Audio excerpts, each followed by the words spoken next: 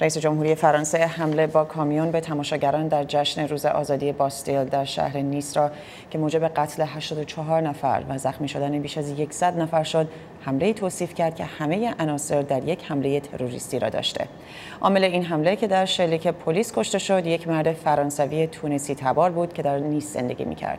فرانسوا اولان می‌گوید هیچ چیز باعث نمی شود ما از جنگ علیه تروریسم دست برداریم. نیلوفر پور ابراهیم گزارش می‌دهد.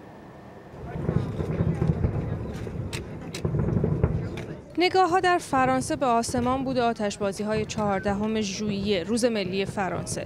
در جنوب این کشور در نیس ده و نیم شب آتشبازی تازه تمام شده بود و جمعیت در بلوار ساحلی راهی کافه ها و بارها و برخی هم رو به سوی خانه هایشان می رفتند که این کامیون 19 تنی شادیشان را به شک و وحشتی ناگهانی بدل کرد.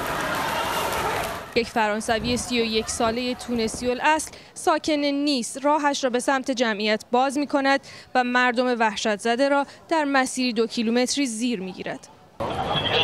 دست کم 84 کشته و دهها زخمی که حال 18 نفرشان وخیم گزارش شده. در میانشان تعدادی کودک بودند. مهاجم در نهایت به ضرب گلوله پلیس کشته می شود.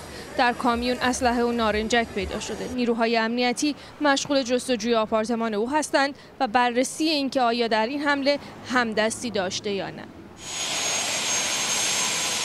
فرانسوا اولان رئیس جمهوری فرانسه به همراه نخست وزیر این کشور پس از جلسه اضطراری دفاع صبح امروز و جلسه بحران شب گذشته به نیس رفتند. وضعیت اضطراری در فرانسه برای سه ماه دیگر تمدید شده. Nous allons maintenir à un haut niveau l'opération Sentinelle. ما عملیات سانتینل را در بالاترین سطح حفظ می کنیم که به ما اجازه بسیج ده هزار سرباز را در کنار نیروهای انتظامی و پلیس می دهد. همچنین تصمیم گرفتم که نیروهای رزرو عملیاتی را فرا بخوانم. فرانسوا هلند همچنین می‌گوید حملات فرانسه علیه داعش در عراق و سوریه افزایش خواهد یافت. جشن ملی حالا به سه روز عزای عمومی تبدیل شده و پرچمها در سراسر این کشور که این روزها تهدیدهای تروریستی به بخشی از واقعیت روزمره آن بدل شده نیمه برافراشته خواهند بود. نیلوفر پور ابراهیم صدای آمریکا نیست